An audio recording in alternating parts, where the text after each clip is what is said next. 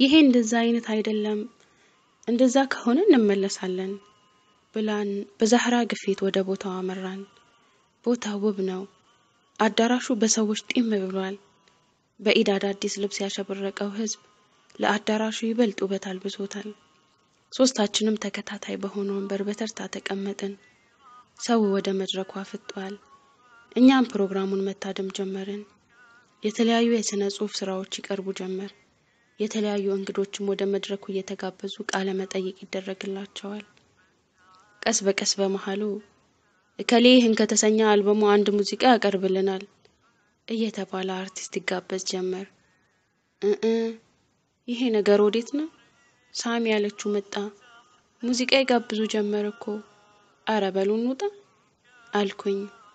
ዛህራም እህ ሳሪ ተረጋጉ እንጂ አንድ ሙዚቃ ተጋበዘ ብላችሁ ትቻኮላላችሁ እንዴ? ፕሮግራሙ እንዴት ደስ እንደሚል እያያችሁት፣ በቃ ይህም ባልሰማ አለፉት አለችን። አይ ዛርቾ ሀራምን እያዩ ማለፍማ ተገቢ አይደለም። ለማስቆም አቅሙ ከሌለን ጥለን መውጣት አለብን ብላ ሳሚያ ተነሳች። እኔና ሳሚ አዳራሹን ጥለን ወጣን። ዛህራ በፕሮግራሙ ስለተመሰጠች ከቦታዋ ፍንክች አላለችም። አይገርምሽም ሳሪ? በኢድ ማግስት ልዩ ተብለው የሚዘጋጁ ፕሮግራሞች አብዛኞቹ ባጢልነት ይበዛባቸዋል። ሰው ኢድን በሐላል እንደ ማክበር ፋንታ የሰራውን ኸይር ስራ ሁሉ የኢድ ቀን ያበላሻል አለችኝ ሳሚ በቁጣ መንፈስ። ልክ ነሽ ሳሚቲ፣ የኢድ ቀንን አላህ እንድንደሰትበት ቢፈቅድልንም ግን በሐላልና ከሐራም ነገር ተቆጥበን መሆን አለበት አልኳት። እኔም ከአዳራሹ ብዙም ሳንርቅ ግን እኮ ሳሚ ዜድን በፍጹም ጥለናት ልንወጣ አይገባም ነበር። መክረንና ያልገባትን አስረድተን እሷንም ከሐራም መከልከል ነበረብን ብያት ዜድን ለማምጣት ወደ አዳራሹ ተመለስን። ነገር ግን ዜድን ከተቀመጠችበት ቦታ ልናገኛት አልቻልንም።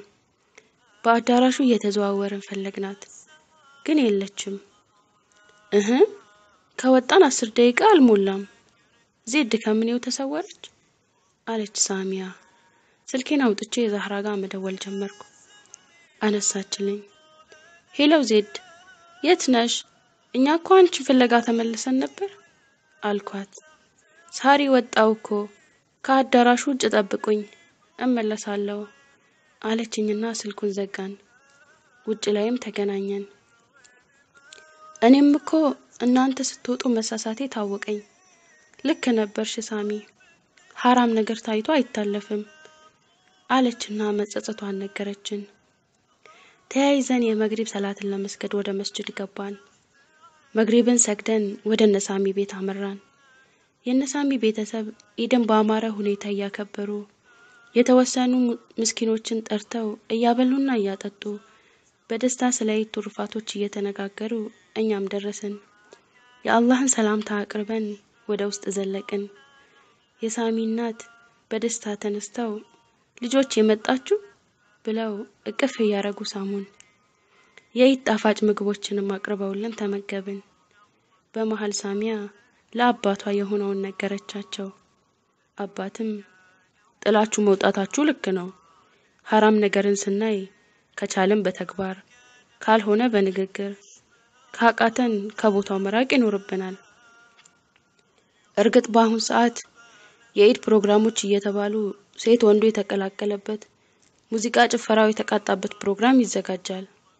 ሙስሊሙ በማወቅ ይሁን ባለማወቅ ወደዛ ይነግዳል። ሙስሊሞች ልንባንን ይገባል። እንዲህ አላህ ከማይወደው ነገር ልንርቅ ይገባል። ከቤተሰብ ጋር በደስታ በፍቅር ኢድን ማክበር እኮ ትልቅ ጸጋ ነው። በዛ ላይ በሙስሊሞች የሚዘጋጁ የሐላል መዝናኛ ከሐራም የራቁ ጥሩ ጥሩ ፕሮግራሞች አሉ።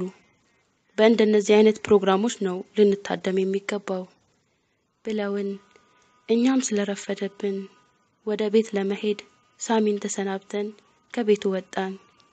እኔና ዜድም ተሰነባብተን ወደ የቤታችን ተበተንን። ወደ ቤት ስገባ ቤተሰቦቼ ተሰብስበው እየተጨዋወቱና እየተሳሳቁ አገኘዋቸው። ውዷ ልጄ ካሁን ካሁን መጣሽ እያልን በጉጉ ስንጠብቅሽ ነበር።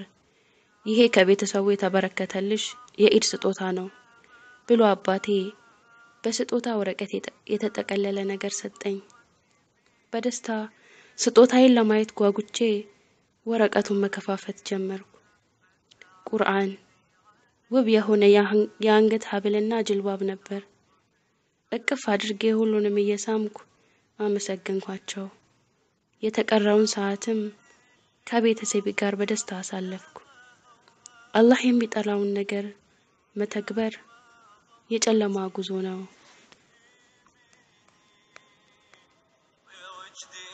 هب التعادي على انسام من عضة شفتي وفركات يدين